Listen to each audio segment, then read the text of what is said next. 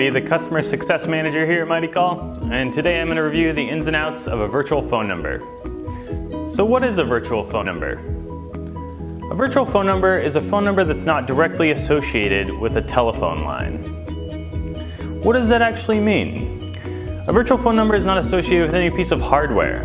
Calls from your virtual phone number can be forwarded to a number of devices like a cell phone or a landline or a soft phone this gives you as the phone owner the freedom to answer calls from anywhere. So it would be a common use case for a virtual phone number. Maybe you have multiple employees and you don't want to list multiple phone numbers on your website or business cards.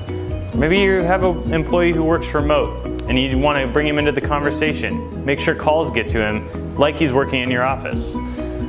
Or maybe you just don't want to buy any extra hardware. You don't want to add any extra phones to the desk you don't want to bring anything else in. You just want to have people use their cell phones. So what happens when somebody calls your virtual phone number? Well, for the caller, it sounds like any other phone number. They'll dial into a toll-free or a local, and that'll get forwarded to a number of different devices, like your soft phone or your Skype phone, cell phone, or a landline. Really gives them a lot of options to forward to without having to dial all those phones. If you have any questions or comments on this video, feel free to use hashtag MightyCall to ask any questions or make any comments. Thanks guys.